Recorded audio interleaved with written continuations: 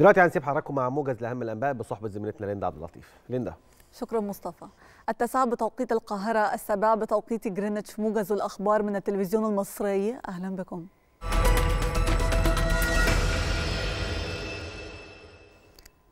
يواصل مطار القاهرة الدولي اليوم استقبال رحلات الحجاج العائدين من الأراضي المقدسة بعد أداء مناسك الحج لهذا العام. هذا ومن المقرر تسيير ثمان رحلات جوية من جدة والمدينة المنورة لعودة الحجاج بواقع ست رحلات عودة من جدة ورحلتين من المدينة المنورة لنقل 1755 حاجة. وصفت وزارة الدفاع الروسية مهاجمة القوات الأوكرانية بطائرات مسيرة المباني القريبة من محطة زابوروجيا للطاقة النووية بأنها استفزاز.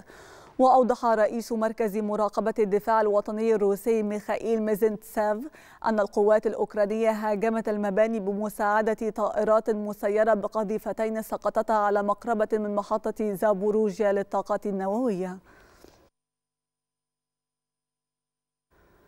يصوت اليوم نواب حزب المحافظين في مجلس العموم البريطاني لاختيار زعيم لحزب المحافظين ورئيس جديد للوزراء بديلا عن رئيس الوزراء المستقيل بوريس جونسون.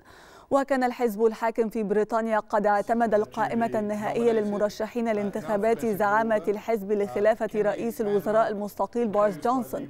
وفي مؤتمر صحفي أكد رئيس لجنة 1922 للنواب المحافظين في مجلس العموم جرام برادي أن القائمة تضم ثمانية مرشحين أبرزهم وزيرة الخارجية ليز تراس ووزير الخزانة ناظم زهاوي بحث الرئيس الأمريكي جو بايدن مع نظيره المكسيكي مانويل لوبيز في البيت الأبيض ملفات الهجرة والأمن والتعاون الاقتصادي. وخلال اللقاء شدد الرئيس الأمريكي على ضرورة معالجة الهجرة بصفتها تحديا مشتركا واصفا المكسيك بأنها شريك متساو مع الولايات المتحدة.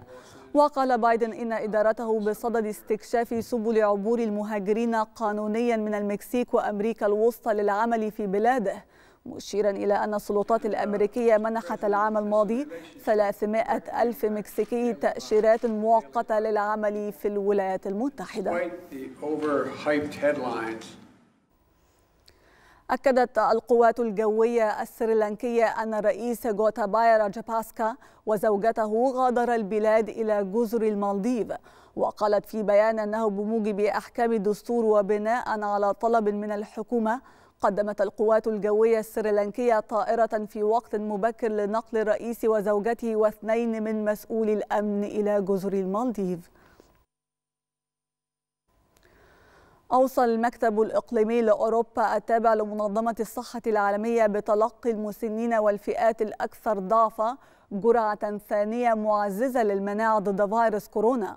وفي بيان قال مدير منظمة الصحة في أوروبا هانس كلوغا إن التوصيات المرحلية المحدثة حول استراتيجية التلقيح تأتي بعد تواصل ارتفاع الإصابات في المنطقة الأوروبية. وأضاف أنه نظرا إلى تزايد الإصابات فإن الهيئة الصحية تؤيد إعطاء جرعة تعزيزية ثانية للأفراد الذين يعانون من مشكلات متوسطة وحادة في المناعة ممن أعمارهم خمس سنوات وما فوق ولمخالطهم. نهاية موجز التسعة نعود لاستكمال باقي فقرات صباح الخير يا مصر بعد الفاصل.